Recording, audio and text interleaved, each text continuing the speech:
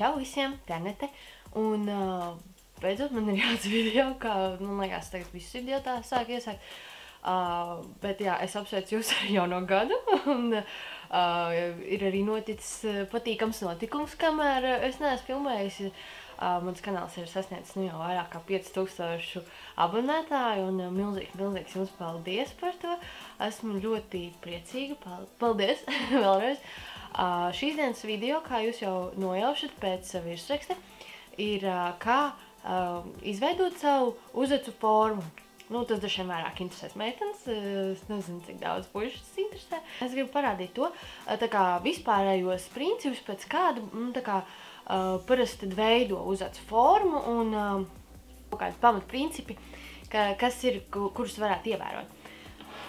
Sākšu tātad ar to, ka kā noteikt visus šos te punktus uz acīm, lai jūs zinātu, uh, kur viņām jāsāks, kur jābeidzas un kur vajadzētu būt arkai. Uh, par arku ir tāda lieta, ka nu, šis tas, tas tā saucamais lūzums, ja, Um, ar to ir tā, ka uh, ne visiem tas ir īpaši izteikts, un uh, arī man patiesībā nav uh, ļoti izteikts.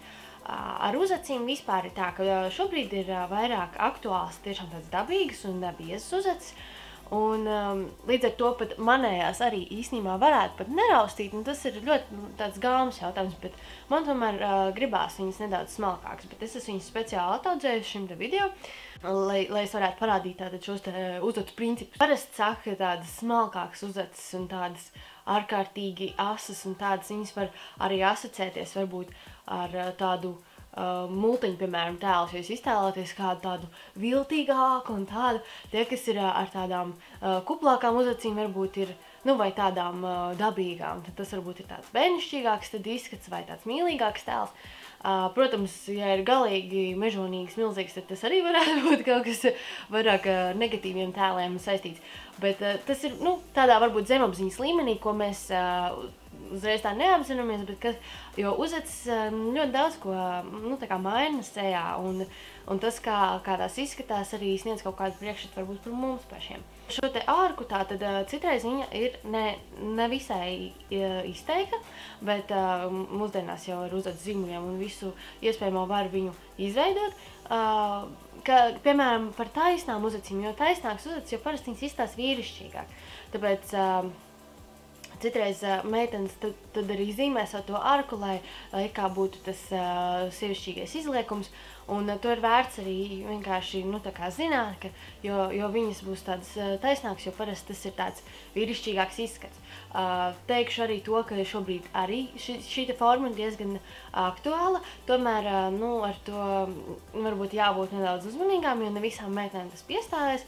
Un, um, Un līdz ar to, protams, puišiem tad uh, vērts zināt, ka, ka, ja viņi vēlas kaut kādu korekciju veikt savām uzacīm, tad uh, tas varbūt ir tas uh, izskats, mm, kur viņi varētu gribēt. Bet uh, modelis ar tādām dabīgām, taisnām uzacīm šobrīd ir, uh, manuprāt, ļoti, ļoti daudz, kur redzamas. Un, uh, un šis izskats, protams, arī ir, uh, ir skaists, un, un vispār jau vi, viss ir skaists, kas katram piestāv.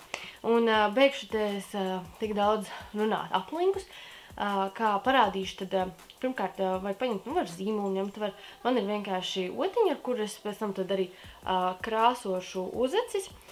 Ar šo te, piemēram, jūs paņemat, man ir arī Anastasia šī te brow pomade, man ir tonis blondā krāsā, deep brow, tā viņš es, es viņu esmu gan arī lietojusi, Es nedaudz, nedaudz šo te līdzeklīti paņemšu uh, uz šīs totiņas. Mm, kā noteikti, to vietiņu, kur jāsāks uzacīt, es noliekat blakus degunam. Un tad šeit arī viņai būtu jāsākas. Tad var arī šeit atzīmēt tā izteiksmīgā. Ir vēl tāda nianse, ka ja ir plats deguns, tad uh, šī... Um, tad šī tehnika varētu arī nestrādāt, tāpēc, ka tad, ja, ja ir pārāk plats deguns, tad viņš pārāk tālu izveido šīs uzacis, bet arī um, citreiz ļoti, nu, ne, nevajadzētu pārspīlēt ar šo te atstatumu, tā, tāpēc, ka, nu, tas arī nav varbūt tik uh, komplementējošs izskats, kad uh, uzacis ir pārāk tālu viena no otras. Un uh, tāpēc, piemēram, ja deguns ir platāks, tad var, jūs vienkārši varat pasīties, var kaut vai šādi te paņemt nedaudz nost, nav obligāti jāliek pie pašmaliņas vai arī šādi te, atkarībā no tā, cik tad jums ir klāts deguns. Uh, nu tā tad šeit būs viena, Es jau jūtu, kur manēja. Tā man šeit ir spogulīts. Redzat? Es to esmu atzīmējusi. Tā. Kur, kur būtu jābeidz uz acī? Atkal mēs liekam pie deguna un caur acis kaktiņu. Man šeit ir spogulis, ja? Caur acis kaktiņu. Un tur, kur beidzas, tur arī vajadzētu beigties uz acī. Tas būtu šeit. Un nedaudz man tur paliekais bort, bet principā man viņas dabīgi arī ir tādā garumā. Un tad šeit ir tas pats. Man beidzās šeit. Nākamais ir, kur ir šita izteiksmīgākā vieta, ārka tā saucamā. Šis ir tāds sarežģītākais. Principā parasti jūs jau redzat, kā un jūtat, ja, kur ir tomēr tas izliek, izliekums.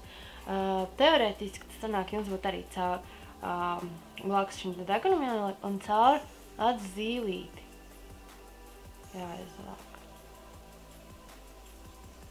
Un tas ir tā, jo jūs jau varat pastīties uz vienu vai uz otru pusi. Es tagad skatos, piemēram, uh, savā attēlā, kas ir kamerai.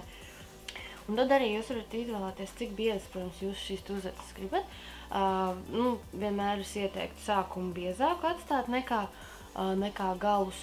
Un, uh, šo te raustīšanu, vai, vai kā var, protams, vajag dažādos veidos, var ar vāsku, tas būtu tad dušain uh, salonā, var vienkārši ar pinceti raustīt, bet tas ir ilgi un sāpīgi, bet, protams, tad jums uh, tik ātri ne, neataugs, un um, arī, nu, kas jau ir ietrenējušies, tie, uh, tie, tie vairs nejūtās sāpes, bet ir vēl tāds uh, ātrais variants ar uh, šādu te, ja tāds vāciņš ir, ar šādu te žiletīti, Viņa ir speciāli uz acīm, un to ļoti bieži arī izmanto dažādi make-up mākslinieki. Un uh, uz vietas, piemēram, kaut kādos pasākumos, ja vajag ātri um, izmainīt šo te formu uz acīm, uh, tāpēc, ka ar viņu tad nepaliks sarkani, nu, nepaliks tas uz acis sarkans, un uh, tas arī būs visnesākpīgākais variants. Uh, šodien es izmantošu tieši šo te veidu, es domāju, ka tas varētu būt arī puišiem visdraudzīgākais veids, ja viņi nedaudz vēlas kaut kā pamainīt savu to formu uz acīm un, un negrib tik daudz sāpes, ka, man liekas, vīrieši ir jutīgāki pret uzacu sāpēm nekā sievietes. Un, nu jā, un tad ar šo te uzacu, nu, viņš maksā četri gabali, vai, man liekas, bija četri komplektā, un drogās viņi maksā kaut eiro 20, nekas tāds nav. Un, nu jā, un tad es izmantošu šo te, pēc tam, kad viņš attaug, tad arī tas, tas matiņš ir tāds spēcīgāks un viņi diezgan patīkam arī var izraut, jo viņi tā viegli ir sa saķēt. Tā kā es sākšu tad ar vidiņu un pamēģināšu kaut kur te nokļūs uz pogulu. Un tā. Tad visu to līdz tai līnijai, kas bija vienkārši nodzīta. Nu tā. Tālāk tad es ņemšu nost to, kas man te ir galos. Un ar viņu nevar iegriezt, jo viņam ir tāda speciāla tā kā aizsarga metāliņa virsū. Un viņš nav, nu, viņi nevar iegriezt, nevajag baidīties no tā. Un starp citu, ko es aizmirsu vēl pateikt, lai visas uh, uzacis būtu tā kā vienā garumā un viņas varētu brīvi, nu, tas uh, brīvi dažādi ieveidot, viņas vajag visas saķermēt uz augšu. Visas, visas saķermēt uz augšu un uh, apgriezt vienādā garumā. Un ja jūs raustāt uzacis tad, uh, ar pinceti, tad vislabāk to darīt, protams, pēc dušas, kad poras ir atvēršās un tad arī mazāk sāpēs. Nu, šoreiz es saku, es izmantošu šo žileti, tāpēc, ka tas ir uh, mazāk sāpīgi, un es sen tiešām neesmu raustījis uzacis, un man negribās sev galīgi nomocīt. Un otrs arī tas, ka tomēr uh, ja es filmēju video, tad arī varbūt negribu, lai man viss tur ir sarkans. Un... Nu, un tā, un tagad es ņemšu te no apakšas. Tā, tagad man viņas ir apgrieztas uz augšu. Vienādā garumā, tad viņas vieglāk arī būs savākt. Un tad no apakšas es taisīšu to formu. Tā jūs neko neredzat. Un vēl, protams, tās trafaretes, par kurām var arī Un to es varētu kādā citā video izmēģināt. Jo tagad man negribējās vēl. Daudz es viņas Tā kā arī nemainīšu. Nu, man nebūs galīgi šaurs vai kaut kāds man... Uh, tas nav arī mans stils. Man patīk, ka tomēr... Ka izskatās dabīgi, bet viņas izstās vienkārši sakoptas, tādas savāktas. Un tad pavisam nedaudz šeit tas vēl noņemšu vienkārši no apakšas.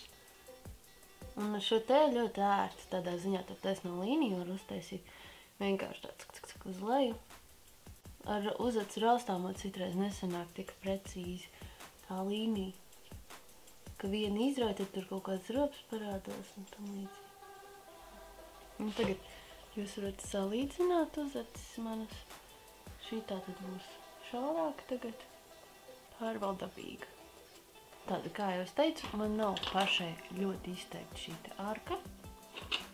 Un tāpēc man vajag viņu iezīmēt, un man viņa būtu tāda izteiksmīgāk tad.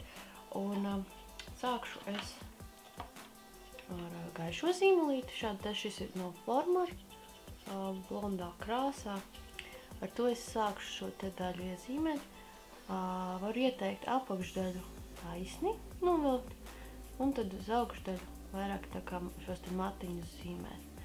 Tad būs šī te precīzi, tāds precīzs arī izskats un to izpludināšanu var veikt ar um, šādu te pirstīti, tā kā skropstu līdzīgi.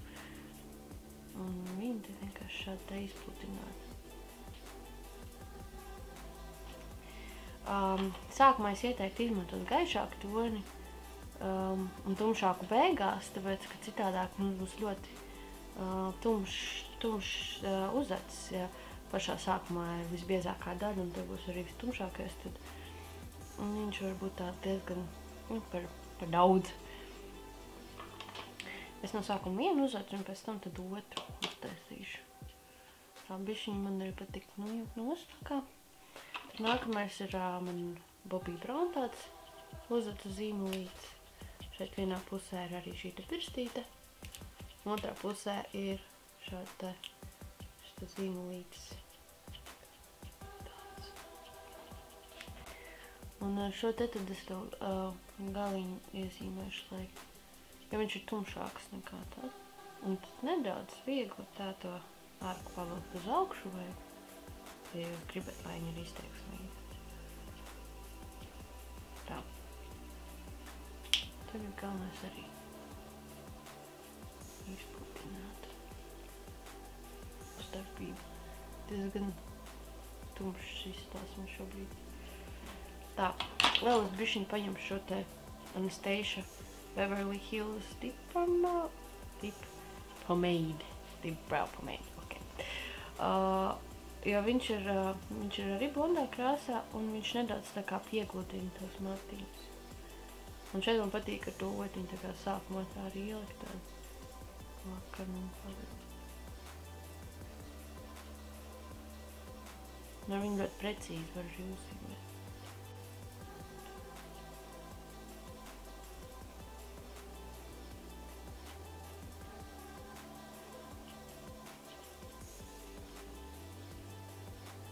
Un, ja es šādi izsimēsiet, tad viņš paliek arī gaišāks un vienmērīgāks.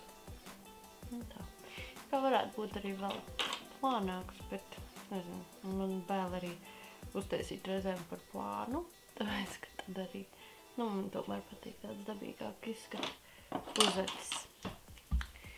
Un tad, um, lai precīzāk uztaisītu šo līniju, tad var arī izmantot um, konsīleri apkārt.